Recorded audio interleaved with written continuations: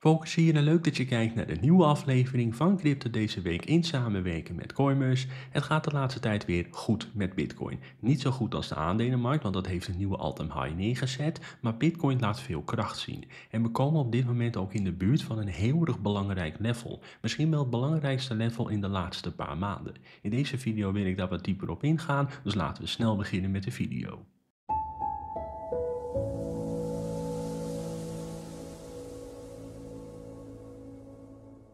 Als we kijken naar de daily chart van Bitcoin, dan zie je natuurlijk dat ik wat heb ingetekend. En dat is niet heel erg moeilijk te begrijpen. Het is gewoon heel erg duidelijk welke trend we hebben ingezet sinds de all-time high van maart 2024. Want we zetten namelijk steeds een lower high neer. En ja, dat is eigenlijk een patroon wat we nu al meerdere maanden hebben ingezet. Al scheelt het niet heel erg veel, maar het is wel duidelijk dat de trend omlaag is. En als we aan de onderkant kijken, is er steeds sprake van een lower low. En dat is natuurlijk ook heel erg duidelijk te zien. Alleen is het natuurlijk wel zo dat er nu sprake is geweest van een higher low. We hebben natuurlijk op 5 augustus toen er sprake was van heel veel paniek een heel laag punt ingezet. Op gegeven moment gingen we zelfs onder de 50.000 dollar. Maar nu zie je dus dat er sprake is van positieve prijsontwikkeling en dat er sprake is geweest van een higher low. Want als we zelfs dat lage punt erbij pakken, en dat is niet eens heel erg lang geleden, dat is namelijk 6 september, en we trekken hem door tot het huidige level, hebben we het over een stijging van meer dan 20% in 14 dagen tijd. Dat is natuurlijk niet niks is het nog wel zo dat we nog niet de definitieve bevestiging hebben dat Bitcoin nu weer de lucht in kan gaan. Want natuurlijk, het duurt nog wel eventjes voordat we een nieuwe all-time high hebben neergezet. Vandaar dus dat je het echt moet kijken van stapje naar stapje. En wat je nu eigenlijk wilt zien is de bevestiging van de higher low. En de higher high is dan gewoon simpelweg het doel. En ik denk dat het zo'n beetje rond de 65.000 dollar zit. Natuurlijk, als we kijken naar 70.000 dollar is dat nog steeds een belangrijk level. Omdat het eigenlijk het moment is geweest dat we in één keer een hele korte tijd heel veel verkoopdruk hebben meegemaakt. Want ja, dat wordt op dit moment natuurlijk nog wel eens eventjes vergeten. Hè? We hebben op een gegeven moment een daling neergezet van laten we eventjes op het laagste punt erbij pakken van bijna 30% in 7 dagen tijd. We hebben natuurlijk in het verleden in andere bull cycles ook heel vaak dit soort dalingen meegemaakt. Maar ik denk dat heel veel mensen nu alweer vergeten zijn dat deze al heeft plaatsgevonden. En dat heeft er vooral mee te maken dat er natuurlijk nu ook al sprake is geweest van een flinke stijging. Alleen is natuurlijk nog geen sprake van herstel. Maar het zou natuurlijk raar zijn op het moment dat je een higher low neerzet, dat je eigenlijk bijvoorbeeld alleen kijkt naar de all-time high, dat je denkt dat is het enige belangrijke level. Ik denk dat een higher high gewoon heel erg belangrijk gaat zijn in de komende twee weken zo'n beetje. En stel in de komende twee weken zetten we niet direct een higher high neer en gaan we inderdaad ook gelijk doorstijgen richting die 70.000 dollar, is natuurlijk niet meteen een reden om je zorgen te maken. Als we maar inderdaad niet gelijk weer heel veel verkoopdruk meemaken, want dat kan inhouden dat de trend zich inderdaad voortzet van de afgelopen paar maanden. Want een trend is natuurlijk, ja, we hebben het nu al zes maanden erover. We zijn inderdaad dan in fases van heel veel verkoopdruk. Vervolgens zie je eventjes een periode van behoorlijke groene candles en dat wordt vervolgens allemaal weer ingeleverd. Dus die higher high, ik denk dat het gewoon een heel erg belangrijk level is als we inderdaad kijken naar de laatste paar maanden. Dat kan dus echt die trend omdraaien. En we zitten natuurlijk in een zijwaartse prijsactie, al is de trend natuurlijk ook wel een beetje naar beneden. En ik denk dat het helemaal geen kwaad kan dat we eindelijk een keertje weer wat rendement gaan boeken.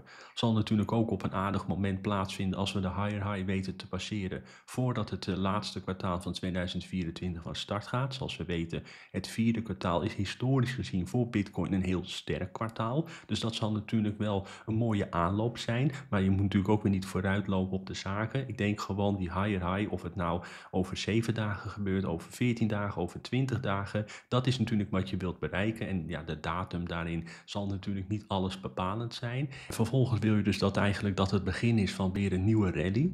Maar ik daar verder op inga, mocht je op zoek zijn naar een platform om crypto te kopen, ik maak gebruik van Coinmerce voor mijn bitcoin en altcoins. En op dit moment loopt er een speciale actie via de link in de beschrijving. Want als je registreert via de link, krijg je 10 euro aan gratis crypto bij registratie. Dat is natuurlijk altijd mooi meegenomen. Dus in de beschrijving staat zo'n linkje.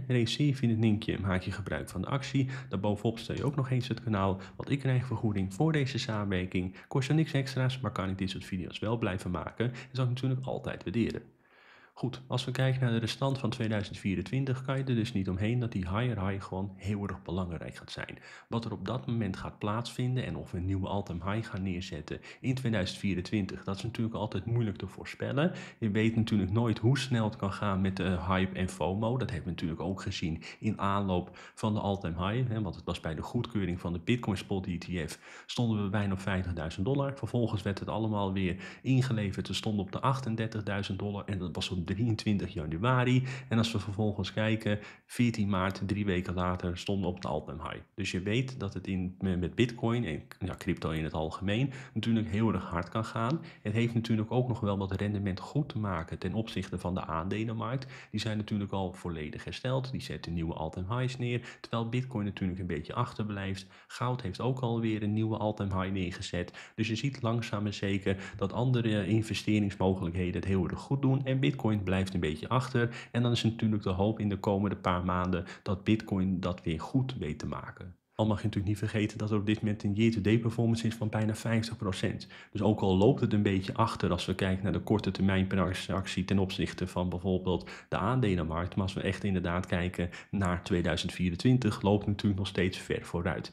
Dus dat is inderdaad de komende tijd gewoon een belangrijk level. Mochten we dat inderdaad passeren, we weten op een gegeven moment hier inderdaad wat support te vinden. Dus dat we er eventjes doorheen stuiten en vervolgens vinden we weer support en kunnen we weer op een gezonde manier doorgaan. Ja, dan ziet het er gewoon heel goed uit. En dat is natuurlijk ook wel weer een keertje fijn. Na maandenlang een trend langzaam naar beneden. Ik heb natuurlijk aangegeven in mijn video's van dat het op een bepaald moment gewoon te snel is gegaan. Maar het is natuurlijk nooit leuk als je zes, zeven maanden lang naar de prijs kijkt en je denkt, ja, er gebeurt eigenlijk niks.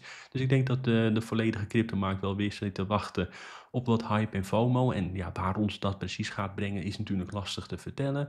Het is natuurlijk ook zo dat de Federal Reserve besloten heeft de rente te verlagen. Wat inhoudt in het verleden dat risicovolle investeringen steeds wat interessanter beginnen te worden. Omdat obligaties minder interessant zijn geworden. Je rendement op je spaarrekeningen neemt af. Dus dat is natuurlijk altijd de fase dat er sprake is van geldcreatie. Dat zorgt ervoor dat je je koopkracht moet beschermen. En ja, dat zijn dus fases dat Bitcoin interessant begint te worden. Je ziet ook de laatste dagen Bitcoin goed heeft gereageerd op het besluit vanuit de centrale bank om de rente met 50 basispunten te verlagen. Dus daar zie je natuurlijk al eventjes de eerste opleving. Maar ik denk vooral het laatste kwartaal van 2024 en het eerste kwartaal van 2025 wel eens een hele interessante kan worden. En we zien ook tijdens deze opleving van Bitcoin dat de grote partijen ook weer meer interesse hebben. Ja, het is eigenlijk gewoon elke keer hetzelfde verhaal. Er zijn momenten dat we langzaam naar beneden gaan en zie je dus de interesse van de grote partijen afnemen. Op het dat we inderdaad weer flink stijgen, zie je dat vervolgens ook weer goed terug als we kijken naar de data van de Bitcoin Spot ETF's. Bijvoorbeeld op 13 september was er sprake van een inflow van 263 miljoen dollar.